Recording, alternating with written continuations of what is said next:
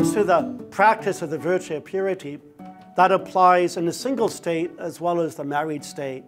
And the idea is ultimately it comes down, comes down to the respect that one has towards the other, that the man has towards the wife, or boyfriend towards girlfriend, girlfriend towards boyfriend. The idea is that respect that is expressed by the love of all things pure. Impurity means there's some sort of filth or some sort of self centeredness, that I desire this for my own sake, for my own pleasure. Instead of the idea of a man and a woman united, combating themselves together for the practice of virtue. I respect my girlfriend, is what the young man would say. The young man being a gentleman and the young woman being a lady. So try to present it like that to your workmates. That can be very difficult. But you might want to start out saying to them, well, do you watch pornography? What's your idea of purity?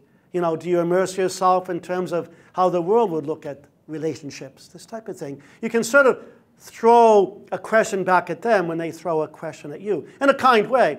Oh, gee, mate, you know, uh, you know, do you watch pornography? That will weaken your mind in terms of the love of, or the appreciation of things that are pure. You know, so and sometimes mates get together and there's impure talk, and you could say, well, gee, I wouldn't treat my girl like that, or you know, uh, married or not, you would say, uh, gee, I'm going to make sure that I'm a gentleman and that I would, I would treat my girl right because I love her. Um, uh, in the life of St. Dominic Savio, he once came across a group of his mates who were looking at a bad magazine. This is like in the 1850s.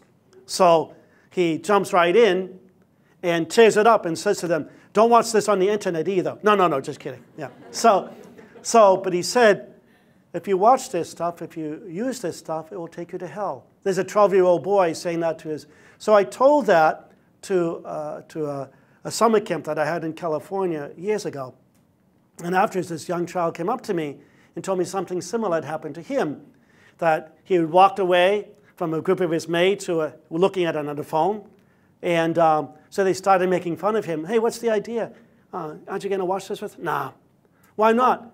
Don't you like girls? And his response was, Yeah, I love girls. That's why I'm not going to watch that. So the idea of what he was saying, standing up as a whole, representing society for something that's pure and clean. And again, it's hard to see that in the world in which we live, but present it like that.